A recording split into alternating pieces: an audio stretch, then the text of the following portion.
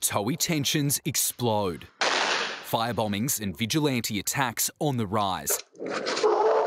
As warring operators refuse to cooperate with police, instead taking matters into their own hands. That all culminated in two people getting stabbed, one serious enough that it should have been a homicide. It was sheer luck. This person um, didn't die. In May, five homemade explosives were thrown at a truck outside a Maida Vale home on Kalamunda Road.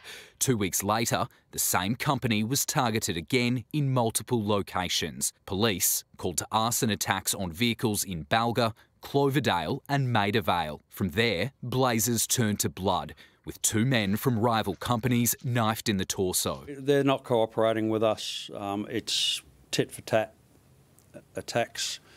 Um, whether they're attacking the right people or not, I don't think they even know. Detectives say those involved are not outlaw bikies. But in the background of this industry, there isn't uh, an undercurrent of organised crime. Police have also received reports of drivers and other tow truck operators being abused and bashed at crash scenes.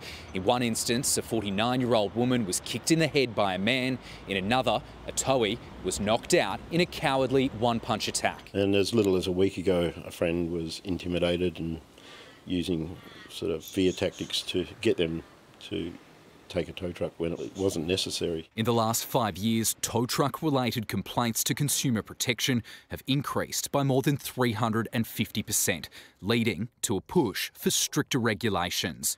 Nathan Brooks for 10 News First.